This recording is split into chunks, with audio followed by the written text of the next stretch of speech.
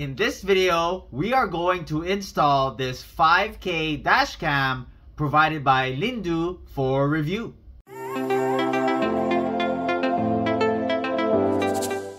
Hey guys, welcome back. My name is Greg and in this channel I create product reviews, mods, install guides of cool car accessories and gadgets.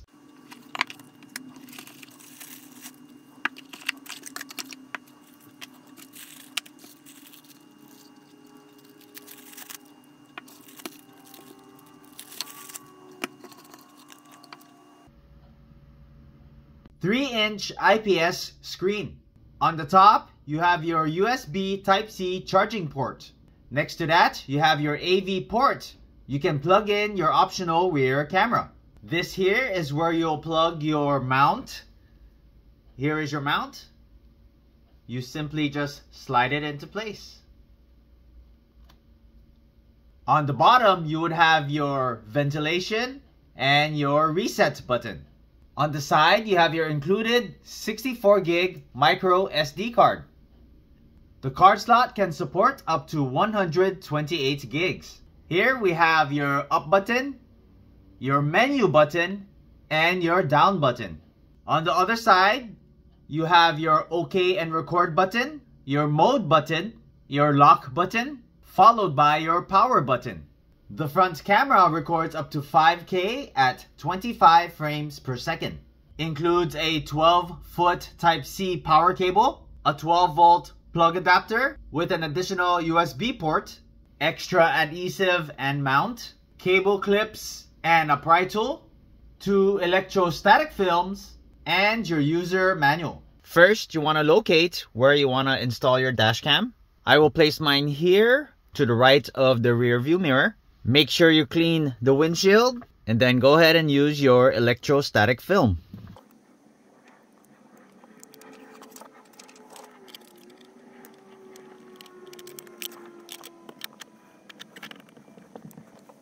Then we go ahead and grab your dash cam, peel off the sticker, and then push firmly into place. You do have the option if you want to remove the camera. You simply slide it to your right and pull down.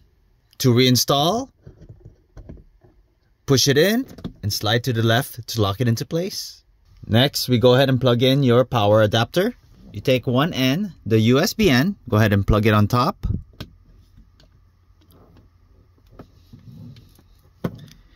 Going to route this and we're just to tuck it in under the headliner.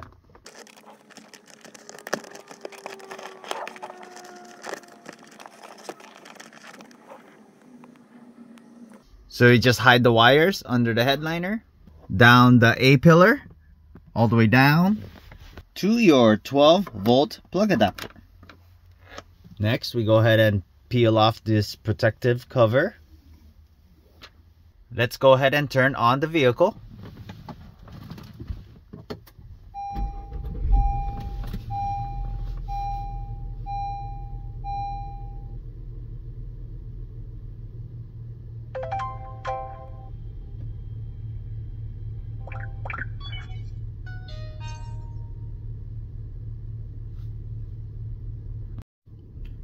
So here is your home screen.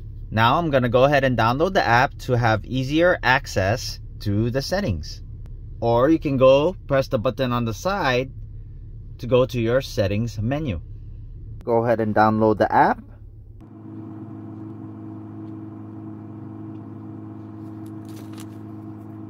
And go ahead and open the app.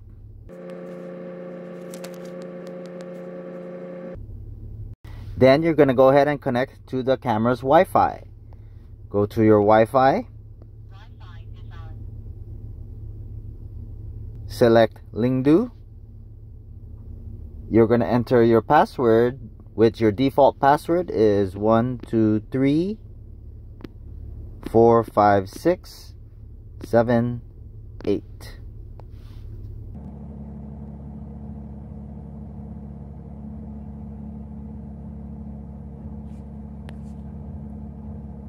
Okay, now we're connected. Now let's go ahead and check real-time video. And we're all set. Now we're going to go to the settings menu, the same one on the dash cam, but we're going to access through our phone.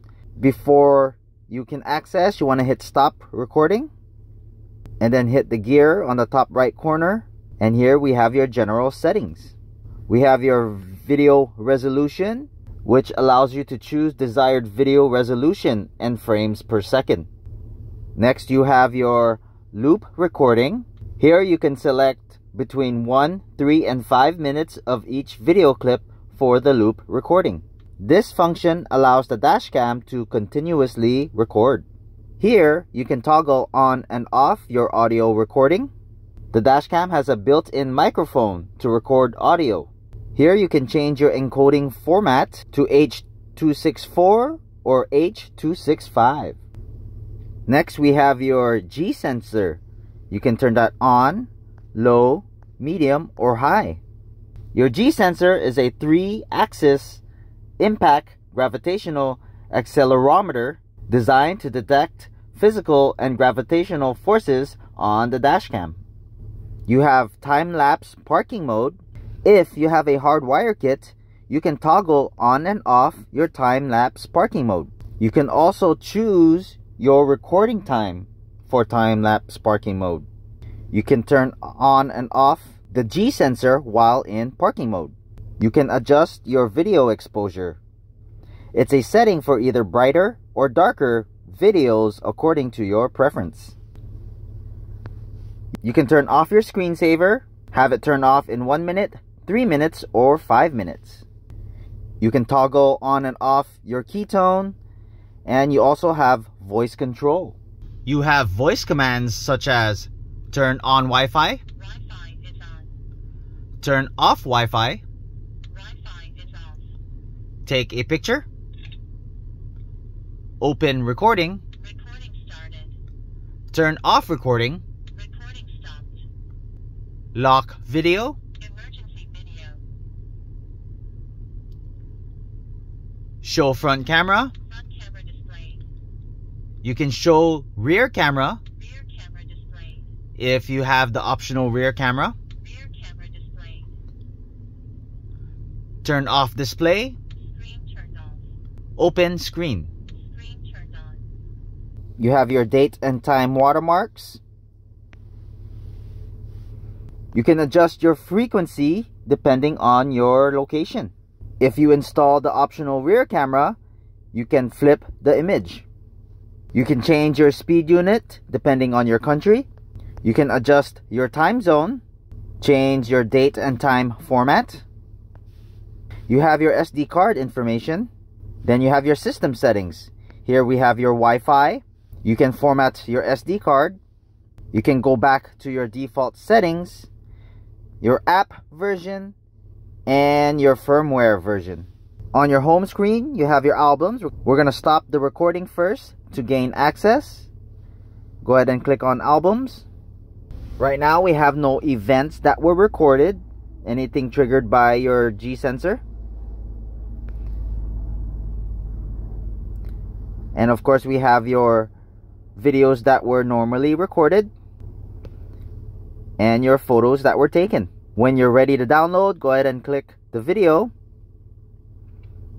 And you have the option to download or delete the video. You can turn off your audio recording. You can switch your camera front versus rear. Right now, I have no rear camera. And you can change the resolution of your camera.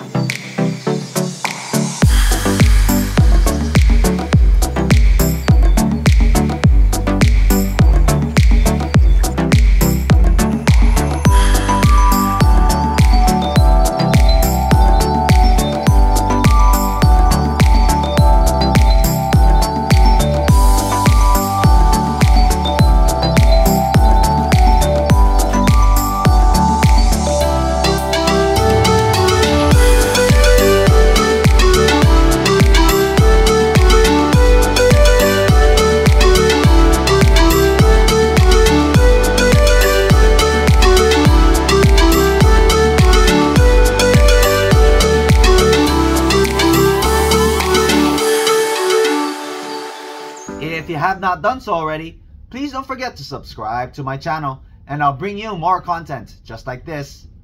Thanks for watching and I'll see you in the next video.